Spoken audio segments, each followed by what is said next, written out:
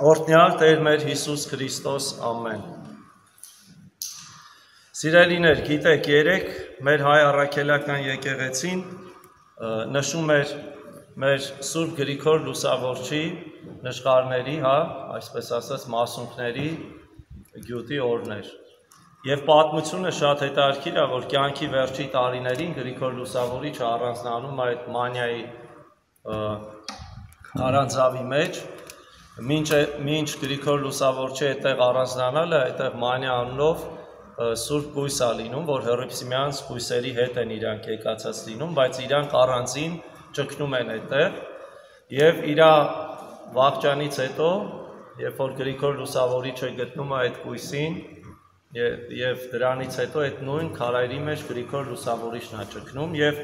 իր կյանքի վերջի տարիներին, երբ որ ինքը Քրիստոսն ընջում է, հովիվները այդպես անցնելով այդ քարերի մոտով բացահայտում են, տեսնում են,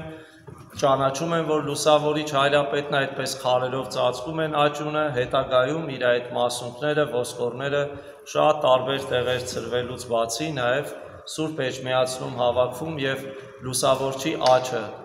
ամփոփվում այդ լուսավորչի աճի մեջ սարքվում է այդպես իր ձեռքը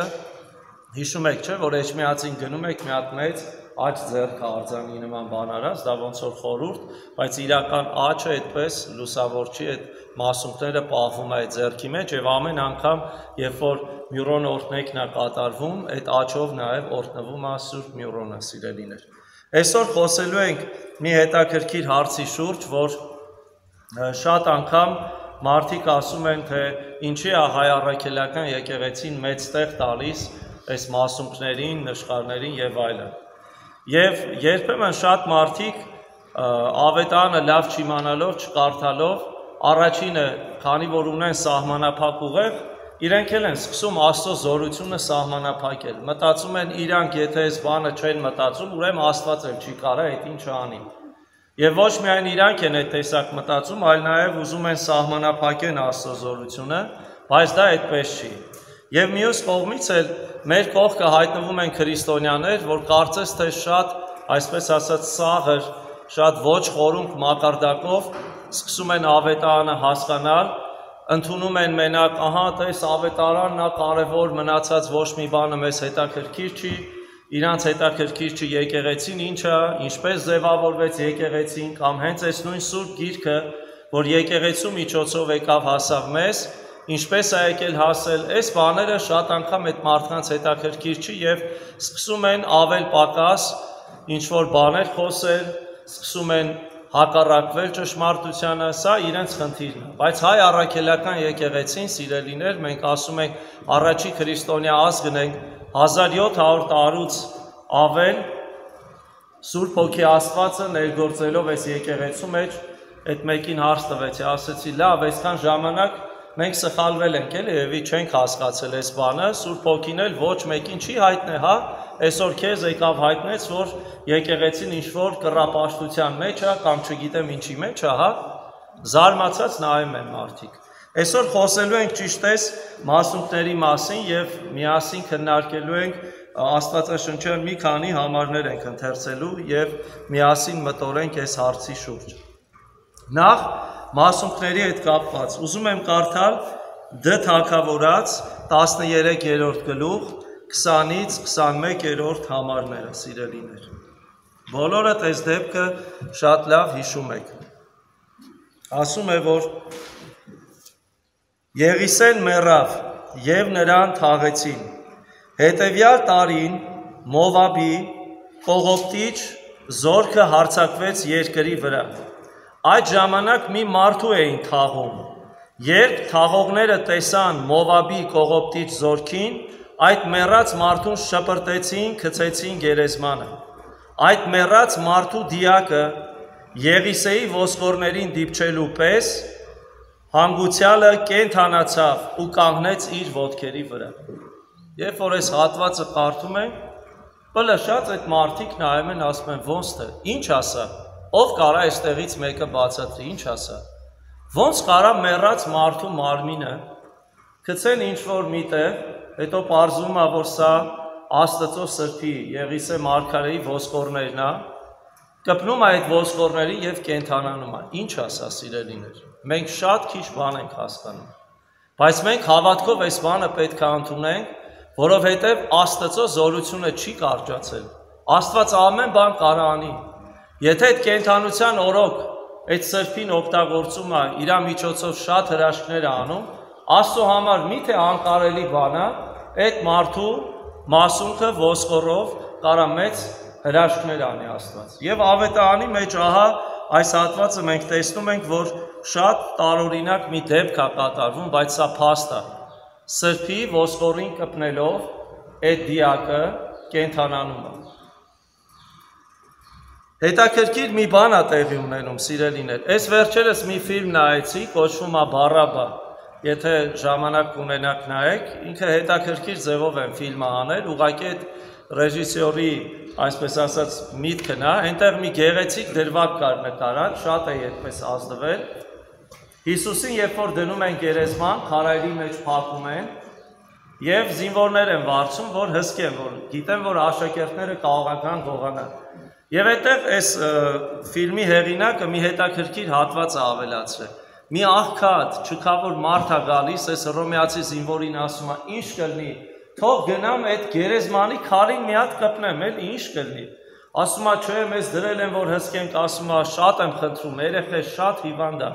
Մեռնում է, թող գնամ մենակ այդ քարին կպնեմ, գնամ։ Այս հրամանատարը ասում է, լավ, գնա, բիձա ջան, ինչ ասեմ, գնա կպի, Այս տարեց մարդը գալի գլուխը դնում է Քրիստոսի գերեզմանի այդ քարին։ Երբ որ դնում է այդ քարին աղոտ քանում, մեկ է դեմքը այլայլվում է, փոխվում է։ Ուրախ զվարթ գնում է զինվորներ է զարմանում։ Այս մարդը ասենց դարդերով եկավ, ձեռք տվեց քարին, գլուխը դրեց քարին, հելավ գնաց, այս ինչ հաշիվ է։ Եվ ցույց է տալիս, որ հրաշք է լինում իր որդին ողջանում, առողջանում է։ Մենք տեսնում ենք սիրելիներ, այս հարցերի մեջ շատ կարևոր է մեր հավատքը։ Եվ Աստված շատ տեղեր նայում է մեր հավատքին, բայց շատ տեղեր էլ Աստված իր կամքով, իր զորությամբ մեծ հրաշքներ անում, որ մեր մարդկային խելքը ուղեղը չի հասկանում ոնց կարա սա լինի։ Եվ դրա համար մենք էլ ենք շատ կարևոր է որպես եկեղեցու զավակներ, մենք էլ ակնածանք ունենանք, մենք էլ հարգանք ունենանք մեր սրբերի այս մասունքներին կամ նշխարներին առհասարակ։ Երկրորդ տեղ ավետարանից, որ կարդում ենք, հետաքրքիր մի հատված է։ Ծննդոց գիրք 50-րդ գլուխը ծննդոց 25-րդ տնից պետք է կարդանք։ Հիշում եք, երբ որ Հովսեփը արդեն հետաքրքիր պատվեր է տալիս 50-ի 25-ը ասում է Հովսեփը երթվեց Իսրայելի որդիներին ու ասաց. Երբ Աստված ձեզ կայաց երբ Աստված ձեզ կայցելի, այստեղից կհանեք նաև իմ ոսկորները եւ կտանեք ձեզ հետ։ Հովսեփը վախճանվեց 110 տարեկան հասակում, նրան թաղեցին դնելով տապանի մեջ Եգիպտոսում։ Հետո երբ որ կարդում ենք Ելից գիրքը, հիշում եք Մովսեսը երբ որ գալիս ազատագրում է Իսրայել ժողովրդին ինչ են անում, նաև Հովսեփի աճումնել են իրանց հետ տանում։ Եթե այդքան անկարևոր բան է, Մովսես ջան, այդ մեռելին ուր եք շալակած տանում, այդ ոսկորները ուր եք տանում, ինչի համար։ Նախ Հովսեփն էր պատվիրել եւ տեսնում ենք, որ այդ ժամանակ Իսրայել ժողովրդի մեջ տեսնում ենք, որ մարդիկ մեծ տեղ էին տալիս այս բանին եւ հարգանքով էին մոտենում։ Մովսեսն էլ երբ որ ինքը մահացավ, Աստված պահել էր, ասում է։ Հիշում եք, որ մինչև հիմա չէին գտնում ինչ, որովհետև Իսրայելի մեջ մարդիկ էր կային, որ Մովսեսից հետո պետքա վերցնեին, կուրք սարքեին իրանց համար եւ այլն, դրա համար Աստված պահեց, որպեսի իրենք չկարողանան այս բանը անել։ Եվ տեսնում ենք մեր կյանքի մեջ դեպքեր կա, որ մենք պետքա հավատքով շարժվենք, սիրելիներ։ Աստծո խոսքը հստակ ասում է այս բանը, մենք հավատքով պետքա ընդունենք։ Մյուս տեղը, որ առանձնացրել եմ, կոչվում է գործ առաքելոց գրքից ենք կարդալու 19-րդ 19-րդ գլուխ 11-ից 12-րդ տները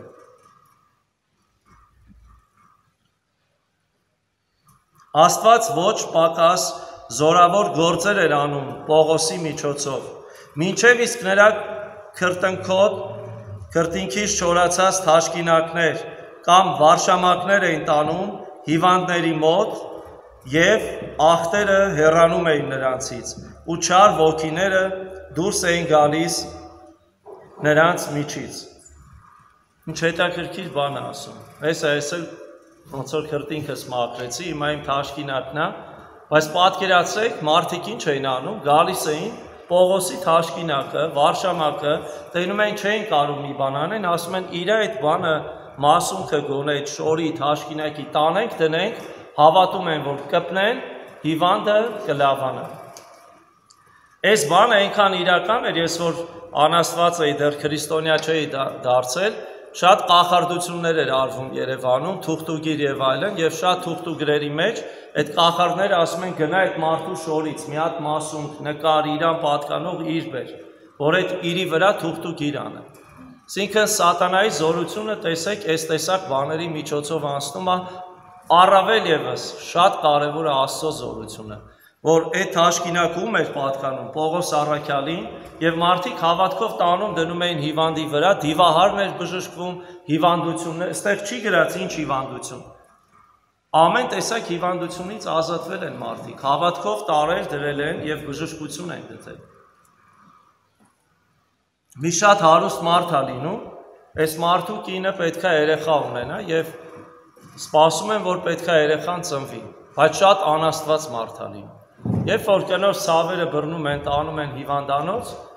գալիս մտնում է այդ ծննդատուն, տեսնում է, որ Հիսուսի պատկերն է, նկարն է գեղեցիկ կախված պատից։ Էսի բարկանում է այս քույրերի վրա, բժիշկների վրա, էս ինչ նկար եք կպցրել ստեղ, շուշուտ մի հատ հանեք, չեմ ուզում այս նկարը տեսնեմ, աշկից չերևա եւ այլն։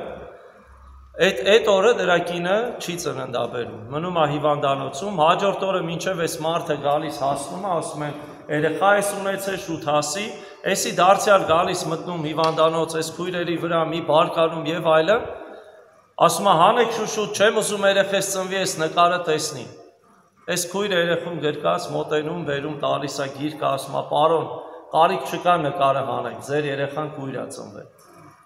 Երբ որ այս պատմությունը լսեցի, որը շատ որը հենց իրական պատմություն է եղել, ես շատ ապշեցի Եվ իմ մեջ մի տեսակ վախ էլ մտավ, որ ես իմ կյանքի մեջ շատ զգուշ լինեմ սուրբ բաներին պիղծ ասելու կամ ինչ-որ եւ այլն եւ այլն։ Այսօր նայեք ինչքան աղանդավորներ կան։ Մտնում են տները, այդ բանը որ չունեն, այս խաչը հանիքից, այդ նկարը հանիքից։ Եվ շատ մարդիկ կներեք արտահայտությանս այդպես բռնված կամ չգիտեմ ով ինչ ասի, ով ինչ քամուց ասես քշվում է, մի վարքանում այդ հարցերը լուծում են։ Հա, հանեմ, գցեմ, հա, վերացնեմ։ Առանց մտածելու, առանց հասկանալու, ինչեր կարա իրանց կյանքի մեջ լինի։ Եվ տեսնում ենք, որ առաքյալը, առաքյալի այս թաշկինակը, մասունքը տանում դնում էին մարդիկ հավատքով եւ բժշկություն էին գտնում։ Մյուս համարը, որ պետք է ընթերցեմ, Մատթեոս ավետարան 9-րդ գլուխ 20-ից 21-րդ տները սիրելիներ։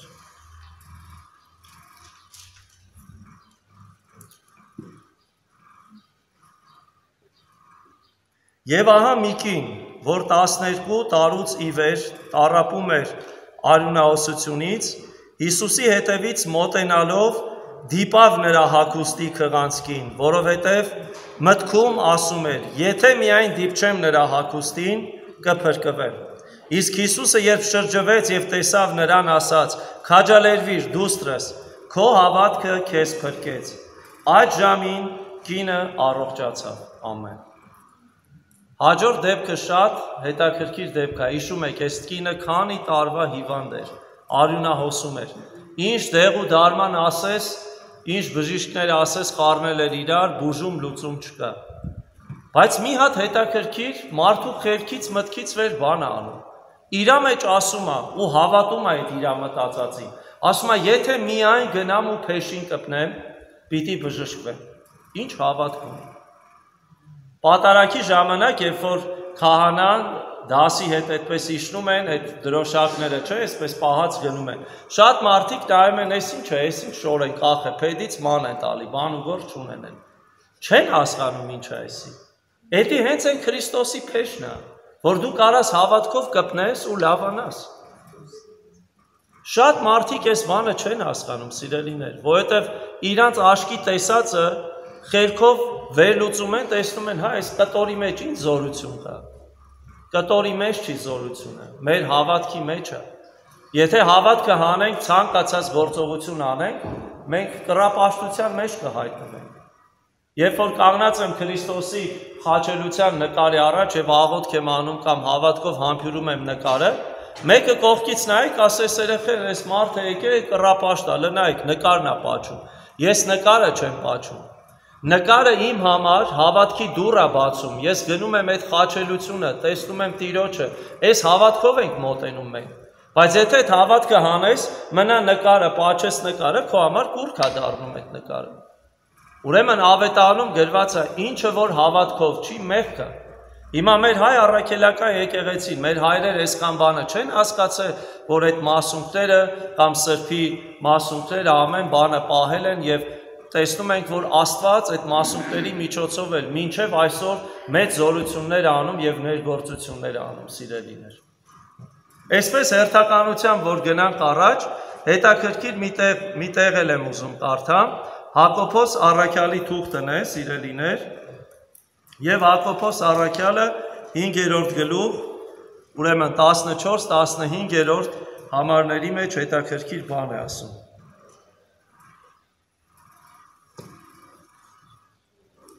Ձեզանից մեկը վշտի մեջ է, թող աղոթի։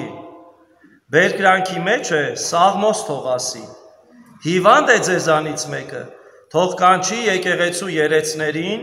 եւ նրանք նրա վրա թող աղոթ կանեն եւ յուղով օծեն նրան Տիրոջ անունով։ Հավատով արված աղոթը աղոթքը կփրկի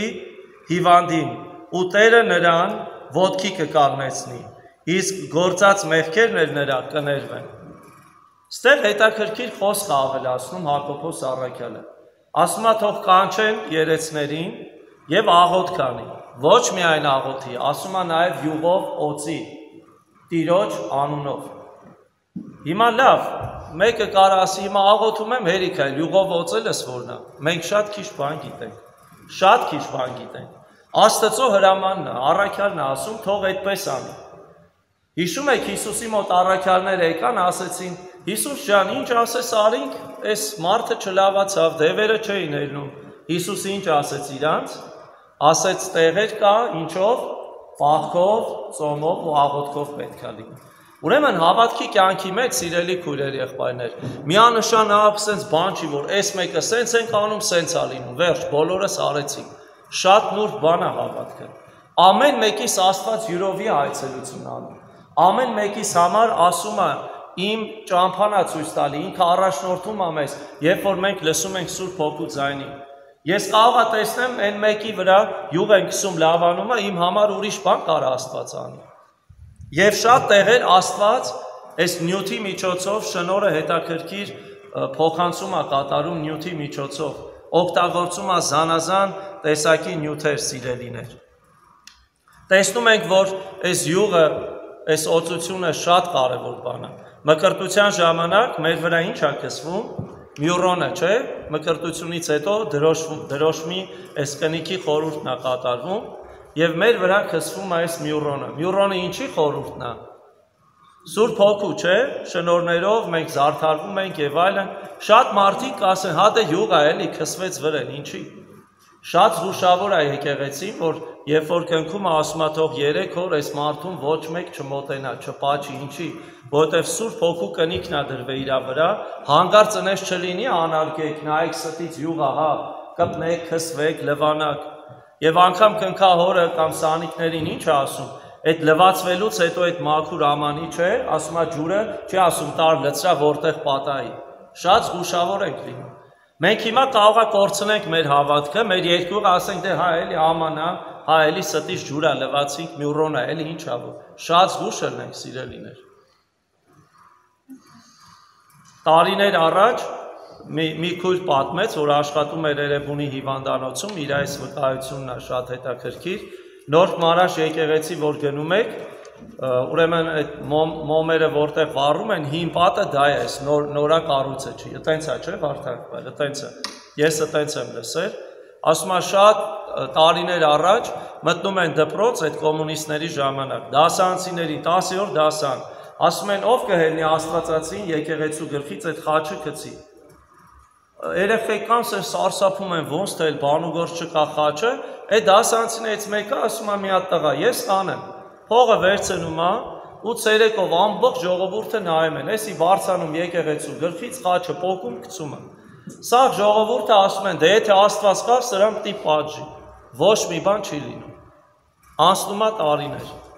Այս երեխեն մեծանում է, դառնում է չափահաս մարդ, գալիս է ամուսնության օրը, այս խոսքերը պատմում է այդ քույրը, ով որ այդ գիշեր հերթապահել է։ Ու ասում է, այս գիշերը այս երիտասարդը կոմայի մեջ արթնանում, ասում Աստված է ինձ պատժում, Աստված, ասում է ինչ ա եղել, տղա ջան, ինչ ա եղել, այս պատմությունն է պատմում։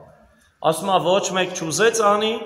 ես հոժարեցի հելնեմ այդ խաչը գցեմ, ինչ էր եղել։ Եկել էր ամուսնության օրը, հարսի ավտոյի մեջ նստած պետքա գնա հարսի հետևից, ասում է սկսես ձեռներս ու ոտքերս ծաղծկել։ Մեքենան հարսի տուն քշելու փոխարեն ուղիղ հիվանդանոց։ Ու այդտեղ գիշերը կոմայի մեջ են գնում մահանում այս երիտասարդը։ Մենք մտածում ենք դե հանակ բանը արեցին գնաց, ես դեմք եմ։ Ոնց ենք դեմ։ Որ երեխա է, այս տատիս մամաս պատմում էր մեր գյուղում սարի վրա այտենց մեծ գնում այտենց ուխտեր էին անում, մատուրներ կար, եկեղեցիներ էին սարքում, ասում է այդ իրանց գյուղացի մեկը գնաց է գիշերով եկեղեցու դուռը գողացել որ տանի վառի։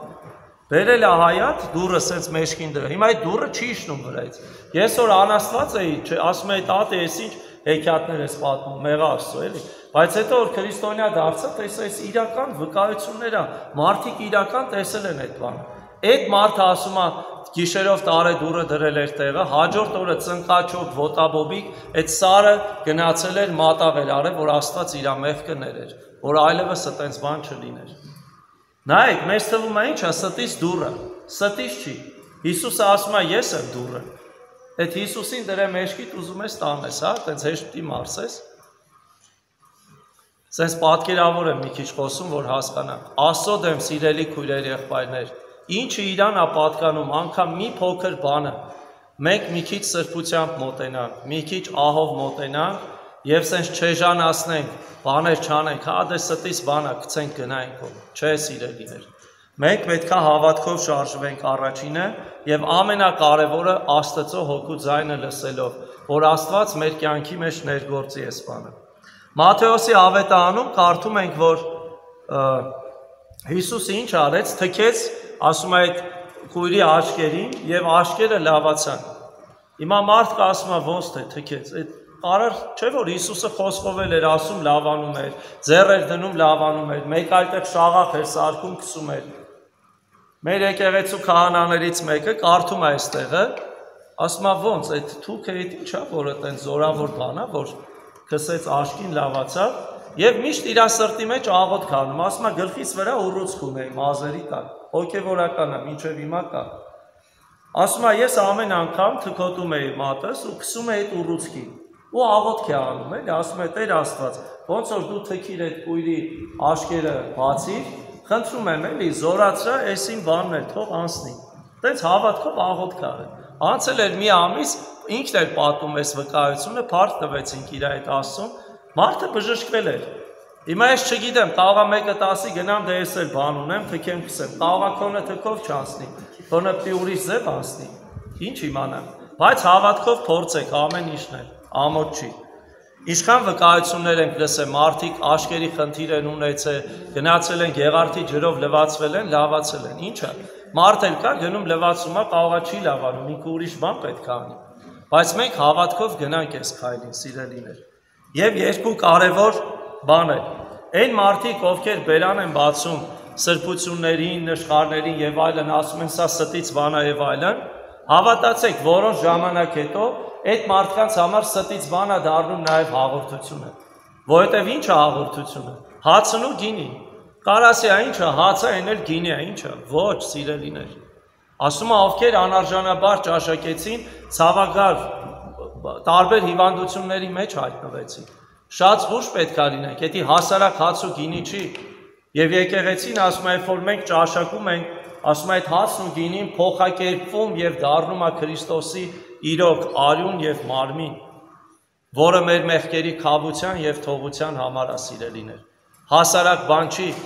Եվ այնքան է մեր ժողովրդի մեջ այս սրբության հանդեպ ակնածանքը, սրբության հանդեպ այս մեծ բան է եղել, որ անգամ հասարակ հացը տեսել են գետնին ընկած, մարդիկ միշտ վերցրել բարձր տեղ են դրել։ Չգիտեմ դուք այտենց եք անում թե չէ, ես մինչև հիմա հենց տենում եմ այտենց բան, ձգտում եմ այտենց անը։ Մարդիկ այտենց են նայել։ Եվ նույն տեսակ մարդիկ որոշ ժամանակ հետո ասում են թե ի՞նչ է Հիսուսի խաչը, էլի խաչափայտը։ Շատ զգուշ եղի ախպեր ջան Այդ խաչապայտի մասունքը մեծ զորություն ունի։ Եվ գիտենք խաչի գյուտի տոնը, չէ՞։ Էլի նույն ձևի մեռելը ինչ ա եղել։ Դնում են մահացած երիտասարդին խաչի վրա ինչ ա լինում։ Ողջանում ա, կենթանանում ա եւ տեսնում են, որ այդ խաչերից որ մեկն է Քրիստոսի խաչը։ Ուրեմն սիրելի քույրեր եղբայրներ, այսօրվա խոսքս ամփոփելով ես խնդրում եմ, որ մենք շատ զգուշավոր լինենք այն բաների մեջ, ինչը մենք չենք հասկանում եւ չասենք, չի կարատես լինին ամենից։ Աստծո զորությունը չի կարճացել։ Եվ մենք էլ պետքա մեր կյանքի մեջ շատ ակնածանքով մոտենանք այս սրբերի մասունքներին, սրբություններին եւ կարողանանք Աստծուն փառք տանք եւ հիշենք, որ եթե ոնց է, ինչը որ մեզ է պատկանում, մենք թույլ չենք տալիս մեկը գա փչացնի ավիրի, Ճիշտ այդպես էլ ինչը Աստծուն է պատկանում, Աստծուն դուր չի գա, իրան պատկանող իրերը մենք վերացնենք, ոչնչացնենք, փչացնենք։ Եվ հիշում եք հին ուխտի մեջ ամբողջ սպասքը, ինչ որ կար, ամեն ինչը օծվում էր, սրբագործվում էր, առանձնանում էր Տիրոջ համար։ Նույնն էլ այսօր մեր եկեղեցիներում, երբ որ մենք գնում ենք մի բան ենք, մի բանի կպնում ենք եւ այլն, դրանք բոլորը օծված բաներ են, սրբված բաներ են եւ մենք շատ զգուշավոր պետքա լինենք եւ հավատքով պետք է մոտենանք այս հարցերին։ Այո, եթե հավատքը հանենք, եթե մենք ուղակի նյութը նայենք, էսի նյութա, մենք կռապաշտության մեջ կընկնենք։ Խաչը նայեմ, հա խաչը ինչա որ եւ այլն, կընկնենք այդ մեղքերի մեջ։ Բայց մենք հավատքով ենք անում, սիրելիներ։ Մենք հավատքով պետքա մոտենանք, որովհետեւ Աստծուն հաճելի ենք լինում հավատքով սիրելիներ։ Եվ մենք հիշենք, որ եկեղեցին այսքան տարի ինքը անտեղյակ սենց չի ապրել։ Եկեղեցին զտել, մաքրել, ինչը որ Աստված հայտնել է իրան ժամանակին, եկեղեցին պահպանել է, կրել է, փոխանցել, բերե հասցրել, տվել է մեր ձեռքը։ Եվ ասում է՝ դուք էլ այս ձևով հավատացեք, դուք էլ այս ձևով ակնացեք, դուք էլ այս ձևով երկյուղ ունեցեք եւ գնացեք առաջ։ Նոր բաներ չհնարենք։ Տերը թող օրհնի, բոլորի զորացնի եւ միշտ Տիրոջը հավատարիմ մնալու իր խոսքով ապրելու ամենքի շնորհք եւ ողորմություն անի. Ամեն